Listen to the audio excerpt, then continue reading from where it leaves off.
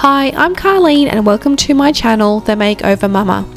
Here I enjoy sharing ways to make over everyday meals and prepare family food that is minimum effort and maximum payoff on a budget. We are a family of five with boys aged 9, 5 and almost 1 living in North Queensland, Australia. In this current season of life, I really want to embrace the little things to create a memorable childhood for our children and will share how we do family life, homemaking, and seasonal events on a budget, and how you can too. Good morning guys, thank you for clicking on this video. This week I've got a few fun things planned. I'm going to show you some Christmas snack pack hacks. So what that means is, well you know what a Christmas snack is, but the pack hack part is we're going to hack a pack or a packet to create a beautiful dessert bar or some Christmas sweet treats that you can share with your family and loved ones. Yes, I am aware it is only mid November. However, I don't know about you, but my calendar is certainly filling up. So stick these ideas in your back pocket or save this video to watch later when you're ready to make some festive treats.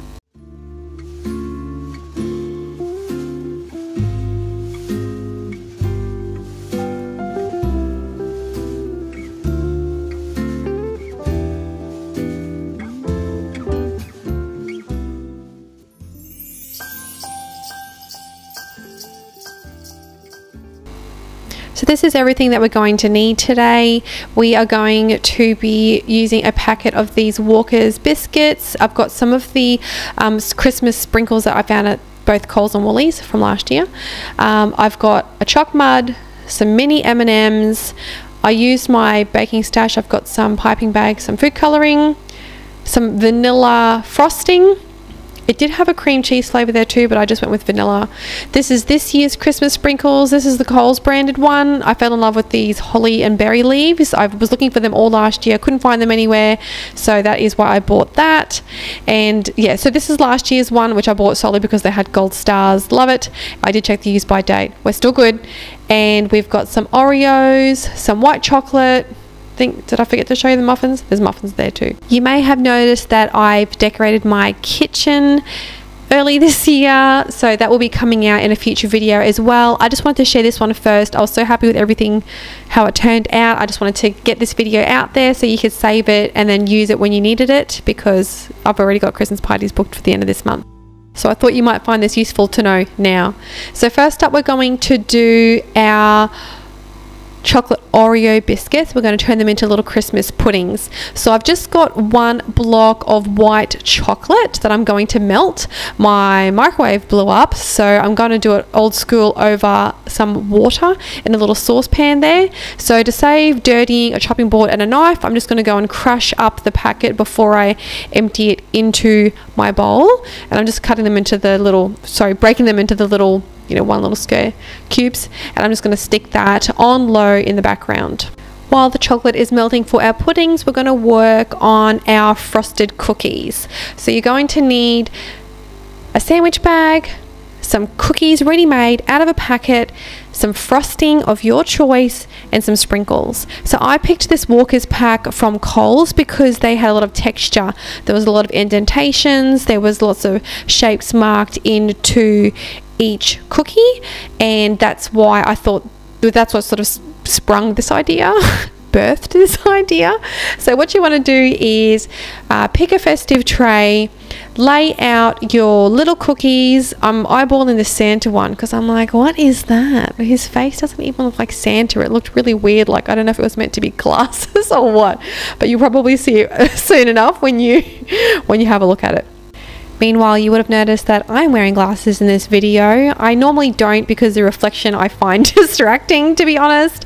And I kind of looked at them and I thought, this actually looks like Mrs. Claus' glasses, like in every movie I've ever seen ever. But my eyes are too tired for contact lenses today. Baby's been waking up like five times a night. I forgot what that was like. Oh, he's almost one, but I've been I've been blessed the third time around. He's a good sleeper normally almost forgot my chocolate there. I was sitting there going, what is that bubbling noise? I'm like, oh, damn. the chocolate. Don't burn the chocolate because there's no coming back from burnt white chocolate. Just kind of doesn't have the same tang to it, you know? All right, so you're going to need a sandwich bag because we're going to use this like a piping bag. I do use a piping bag in another part of the video um, because I just wanted the look, like a different look for the cupcakes. But for this, I wanted a really fine piped line perfect for a sandwich bag. Use what you have. So I'm just going to go ahead and make sure that the tip is nice and pointy because I want to fill that up without any air bubbles in it. And you don't need much um, for this many cookies. I just went with a large tablespoon. I'm just squeezing that to the tip of it there. And I'm just going to knock the tip off with a pair of scissors. And that way it's going to stay really nice and fine and I can control that a lot better here I am looking for a pair of scissors because now that baby's crawling, he can reach like the third drawer up, so nothing is safe. I need to get some childproofing in here. And we're back.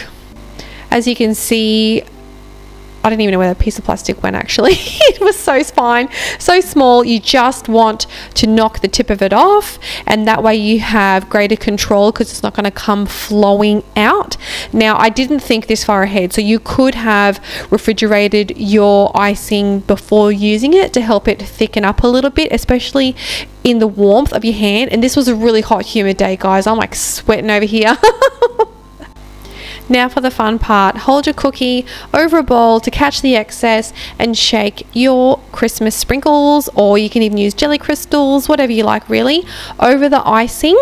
Do this one at a time or a couple of cookies at a time, not too many because once that icing dries, the sprinkles, they won't stick. So do it while the icing is still damp or wet and then it will work a lot better. Decorating these cookies was one of the easiest pack hacks that I've done for a fun, festive Christmas snack. It's forgiving because even if you mess up the icing, it's easy to wipe off.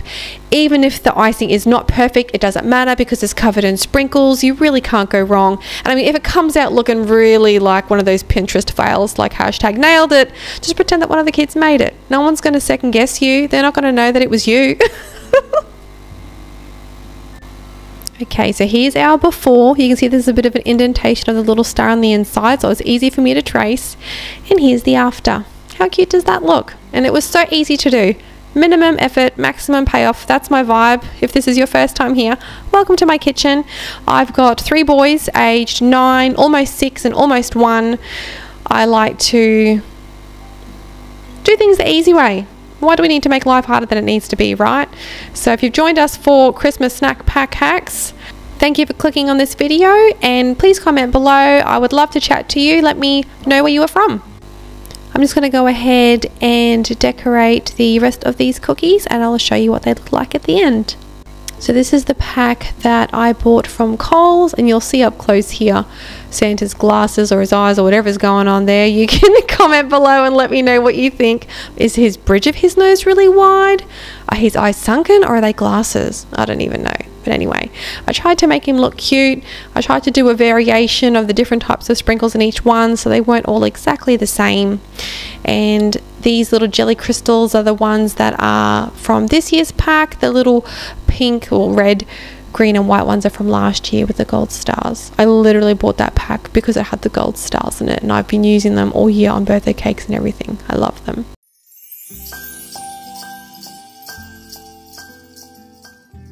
For our next Christmas snack, pack hack. Feels like that needs like a little catchy intro. Tongue twister there. All we need is our Oreos, our chocolate that's been melting in the background, and our sprinkles from our Coles set. So I've just gone ahead and emptied the sprinkles into a bowl just so it's easier to control where I'm placing them as opposed to, you know, shaking them out because I do care where they go this time. So you want to violently shake your Christmas pudding, your Oreo. We want it almost well, almost halfway covered with chocolate. And we want to shake it because I want that droopy drip effect like a Christmas pudding covered in cream or custard. And we're going to place our holly leaves and little berries on top. And it's as easy as that. We're going to let it set and then they're ready to serve. So I'm going to go ahead and let you enjoy this next minute with some festive Christmas music as I put these together Let me know if you can spot the one Christmas pudding which has a holly leaf back to front on there if you're OCD like me. And uh, let me know if you think a six-year-old would care because I'm thinking I'm thinking not. But you know, comment below if you feel like since entering motherhood your care factor for the little details like that has just chilled a little bit. Let me know that I'm not alone in that.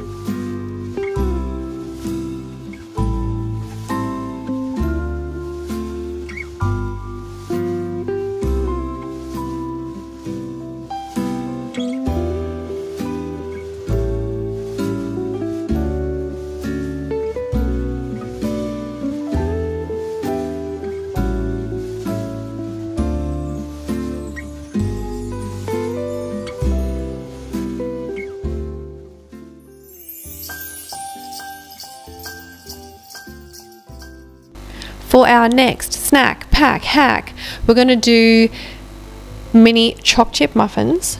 You can use whatever you have that's pre-made, but we're going to decorate them with three different designs. I'm going to show you how to do that using all of these things. So just your icing, a piping bag with some different um, fittings on them. This is all included in that pack that I've got there. Some green food colouring and the sprinkles that we've been using this whole time. So I kind of want to do one kind of Grinchy inspired. I want to do a Santa hat and the next one is just something just cute little frosted with the holly leaves and berries. If you haven't used a piping set before, it's really quite easy, nothing to be scared of. I like to flatten out my little baggie and push the tip. This is a star tip. We're going to push it in as far as we can get it before we snip the top off. It is best to snip the hole too small as opposed to too big because if it's too big, the icing will just escape out the side and it will was going to say damage, ruin your design. So we're just going to snip off the tip of it there and then I'm just going to use some pressure to squeeze that through.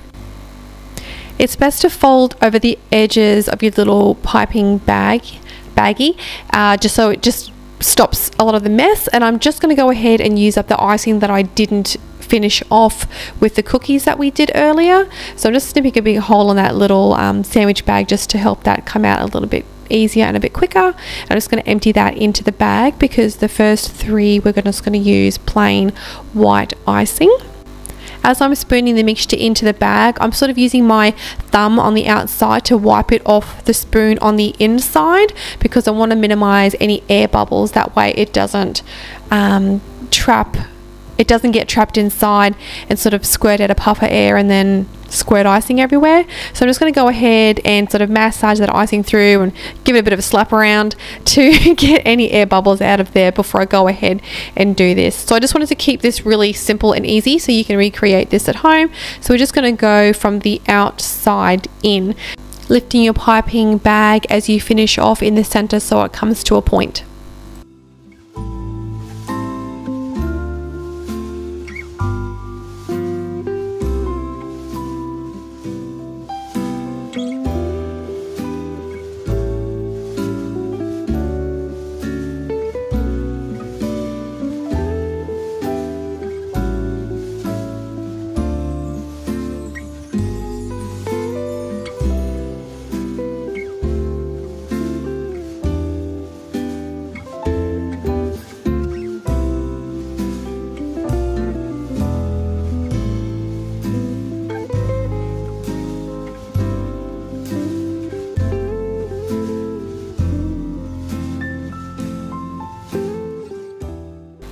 For the next design, we're going to do little Santa hats. So I'm just going, I'm starting in the center and going sort of left, right, left, right, and then I'm making a little point to the side. This is going to be Santa's hat.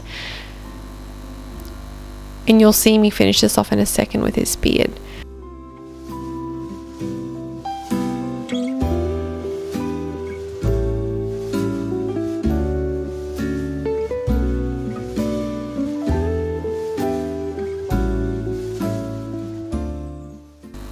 Now to make his little hat red looking, we're going to go ahead and use the jelly looking crystals out of our little Coles sprinkle pack that I just bought this week from did I say Coles? I'm pretty sure I did.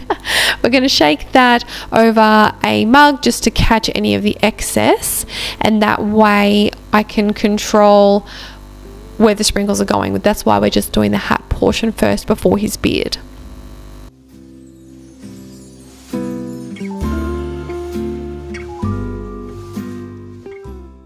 Just thought I'd mention that I'm using the same star tip as I was using earlier. So we're going to go ahead and we're going to make the beard shape just by start like meeting where the hat starts and just doing little sort of loop-de-loops on the way down. Don't know how else to explain that.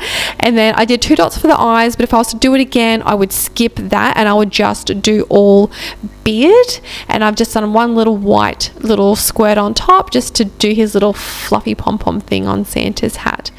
I did toss up the idea of doing like little mini M&Ms for his eyes and I've got little leftover from Halloween little like eyeball little candies but I just liked the look of it better just being all icing. It sort of just I don't know took away from it having other colors and textures on there. Well that's how I felt anyway. But you do as you will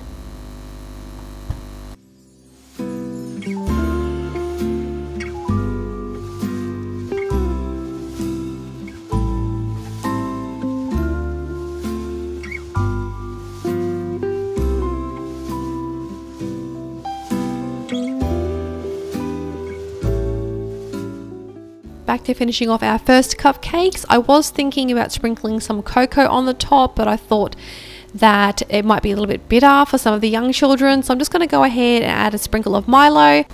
You could also use drinking chocolate. Comment below, is Milo, does everybody have Milo in the pantry at all times? I feel like that's like a staple. Is that an Australian thing? Pretty sure it is. If you don't have Milo, you can use drinking chocolate, cinnamon powder. You can even do a sprinkle of coffee if you're doing it for adults. Comment below if you have never seen Milo on the shelf before and tell us where you're watching from. We're going to go ahead and add on our little holly leaves and berries and this one's ready to go.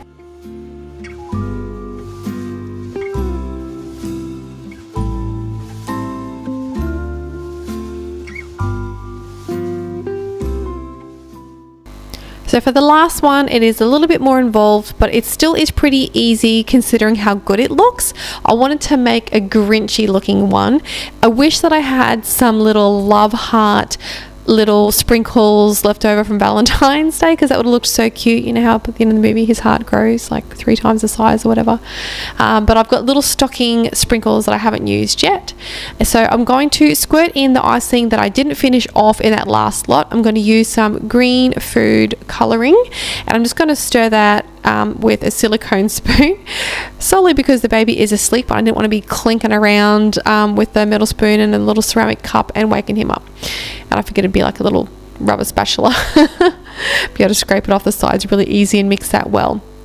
Now to get the two-tone look that I'm going for we're going to need a fresh bag the same tip and we're going to empty out that green filling and rub it on the inside of the bag. But we're going to add white icing after. So it's kind of like the outside of the bag is going to be coated in the green icing but then inside that is going to be white icing. So when you squeeze it out it's going to give you that two-toned look which looks really beautiful but it also isn't that hard to do. So if you just wipe it all on the outside you don't want it sort of clumped in the middle. So I'm just sort of trying to insert my spoon in there and then I'm going to sort of wipe that up the bag because I want the green to be on the outside of that piping and the inside to sort of shine through to shine through white. So the darker the green the better it will look because the lighter it is there's not as much contrast. So I'm just going to open my baggie back up and I'm just going to shove that white icing deep down inside there, trying to get past all of the green, try and get it nice and clean inside so that the inside will still remain white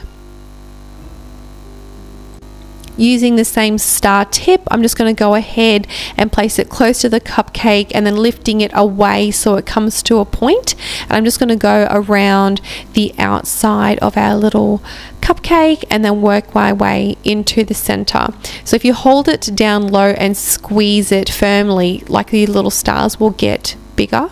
And they won't be like little empty little things with lots of gaps in the middle. So try that. If you feel like it's really gappy just go over the top of it and then just squeeze a little bit firmer and then it will sort of spread out a lot more before lifting the tip up. It's a little tip for you. Literally. Pun intended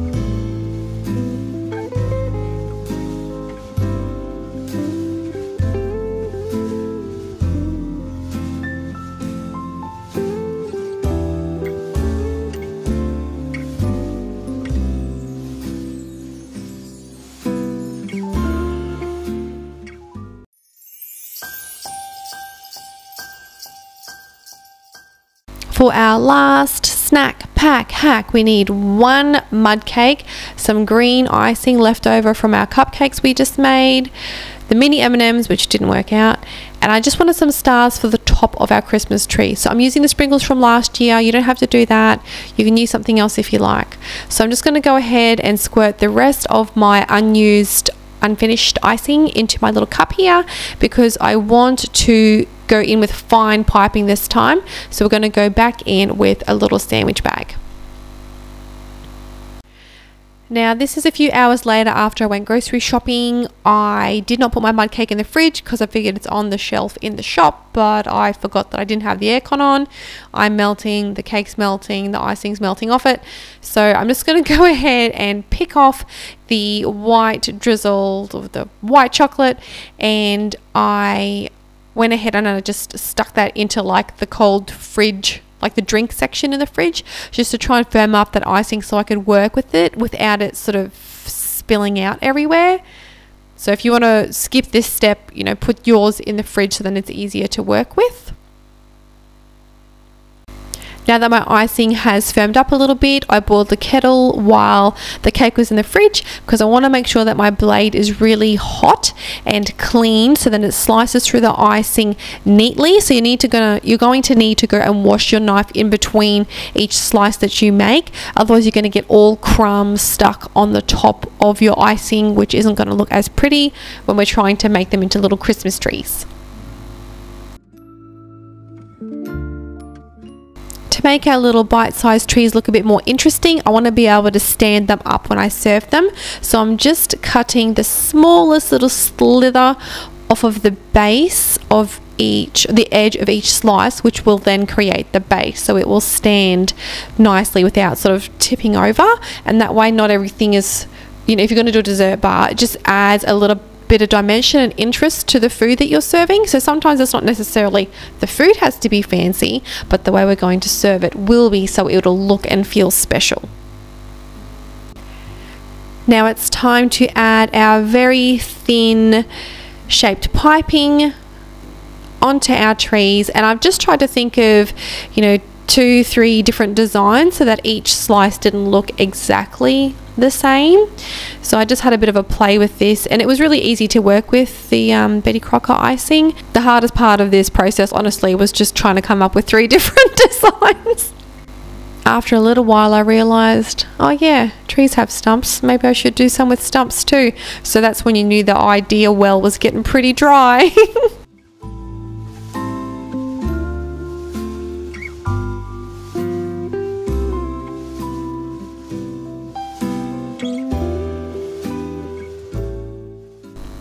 had planned on adding mini M&Ms to the little Christmas trees as little Christmas lights, but they did not look right at all. You can see me having a look here like, what's going on here? Something wrong with these. So, yo M&M, are you using natural colours now or what's what's going on with this? I've tried to show you here. The lighting's a little bit hard, but it was almost as if they'd used natural coloring or they did like one coating. I don't know, but they looked very dull, very bland, very sad. So I just went ahead and put little gold stars on our trees instead to dress them up.